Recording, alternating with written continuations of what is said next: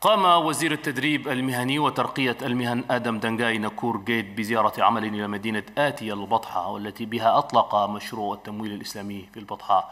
تقرير محمد طاهر جبريل الحوار يحظى إقليم البطحة لأول مرة بخدمات مشروع التمويل الأصغر الإسلامي في تشاد. المستفيدون من هذا الدعم والذين ينتمون إلى المقاطعات الثلاث المكونة لإقليم البطحة يشاركون في هذه الدورة التدريبية. في كلمة الترحيب حاكم إقليم البطحة جان برنار باداري أثنى على مبادرة مشروع التمويل الأصغر الإسلامي في تشاد لدعم التجمعات والأفراد أصحاب المشاريع المدرة للعائدات بالبطحة مؤكدا أنها جاءت مطابقة لسياسة رئيس الجمهورية الذي ما فتئ يفكر مليا في كيفية محو الفقر من أوساط المواطنين التشاديين. وقال الحاكم إن حوالي 600 طلب تم تقديمها حتى الآن من قبل المواطنين بالإقليم وسيتم البت فيها في أقرب وقت.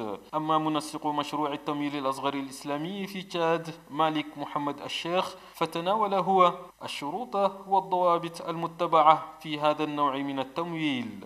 التمويل لقروض الصغيرة الإسلامية بصفة عامة هو بخص شنو؟ بخص الناس البسطاء. ما بيمول تجار كبار حقيقة ده لازم تفهموه ما بيمول التجار الكبار إلا ناس الصغار صغار يتدبروا في الأسواق يقدروا يتعاملوا ما بينهم. وعندها حوالي أربع مراحل بعدين المدرب يقدر يفهمكم ليا بالتفاصيل.